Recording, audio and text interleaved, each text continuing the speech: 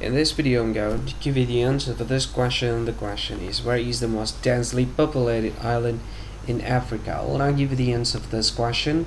And the correct answer for the question is Kenya. Well that is the answer for the question Kenya. Hi, thank you so much for watching this video. If you find this video is very useful, you can help this channel to grow by subscribing this channel. Please this subscribe button and don't forget to like this video. And if you find this video is not really good or you don't really like this video or you kind of feel that it's a little bit offensive or something like that, you can click this one, dislike button. You can do that anyway. And if you want to share this video with your friend, you can share it by clicking this share button and you can share it to any any social media that you wish that is currently available at this time like Facebook, Twitter, LinkedIn, and many others. Right?